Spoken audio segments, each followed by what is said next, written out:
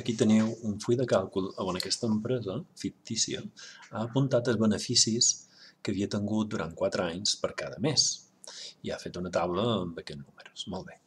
Ara ens interessaria que el full de càlcul ens ajudés a totalitzar totes aquestes files i columnes. Una manera és posar igual, que és com comencen totes les fórmules, i anar posant les referències de les cel·les i dient B1 més B4, no, B3 més B4 més B5 més B6. Això és una opció que funciona perfectament, aquí veus el total, 29.219. Però eh, Excel, bueno, Excel, els fulls de càlcul, ens donen sovint funcions que ens fan la feina més fàcil, com seria la funció sum, que li, li podeu dir que vos sumi un rang de cel·les i només heu d'especificar la primera i la darrera separades per dos punts. Veus? Sum B3 a B6. Una, una altra cosa que heu de saber és que les fórmules, si tu els agafes i estires del quadrat aquest, se copien i se copien de manera que les referències també se mouen amb ella. Per tant, la cel·la de costat farà el total de la columna de costat, no de la mateixa. I el mateix per les files. Utilitzem aquesta vegada la funció sum, la copiem i ja teniu els totals anuals. Perfecte. A continuació, afegirem més coses anem a fer eh, una altra fila on calcularem les mitjanes de cada un d'aquests quatre anys.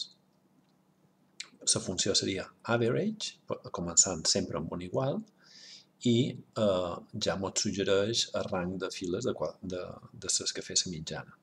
Estirant del quadrat inferior dret, copiem la mitjana a les cel·les veïnades i les referències, com abans, se desplacen. A continuació farem una funció que consisteix en copiar el format. Amb aquest eh, rotllo de pintura, amb aquest rodillo, copiau el format de les cel·les per estampar-lo a les cel·les de baix, de manera que tenem, tenim aquest aspecte verd en les lletres blanques. Eh, ara farem una altra maniobra. Ara volem eh, fer un càlcul que ens servirà com a previsió dels beneficis per l'any 2021 Fem el rodillo per copiar l'aspecte de les lletres, el modificam en el nostre gust i a continuació eh, introduirem una dada que necessitam per fer aquesta previsió. Eh, I suposarem que se produirà un cert increment de beneficis eh, el 2021. Tenim una previsió.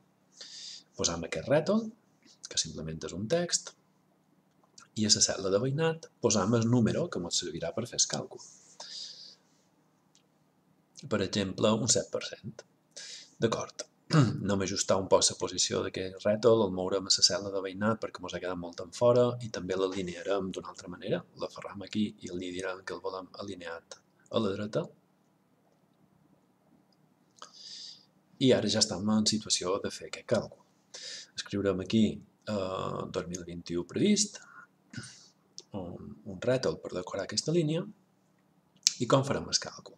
Començarem, com sempre que fem una fórmula posant igual, dient que partirem d'aquest número i el multiplicarem per, obrim parèntesi, 1 més aquest, aquesta cel·la on indiquem el percentatge, no posarem un 7, posarem la referència a aquesta cel·la, que és E13, dividit per 100 i tancant parèntesi.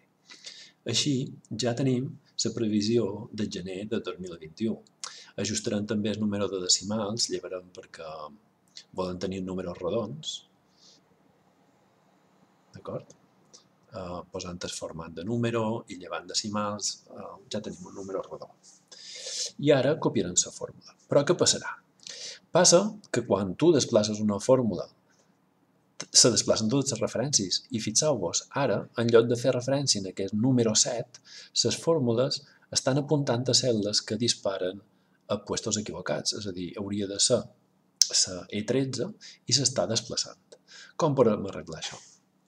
Era molt senzill. Heu de conèixer aquesta possibilitat.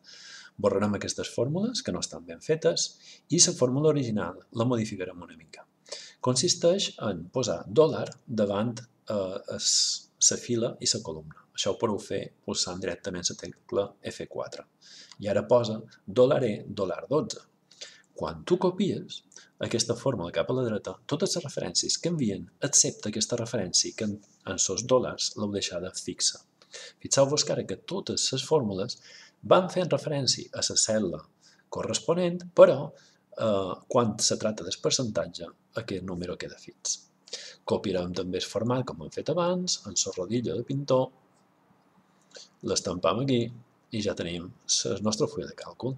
Ara l'avantatge dels fulls de càlcul és que qualsevol dada que canvi, si jo vull veure la previsió suposant que tindria un increment del 10%, els números se recalculen automàticament.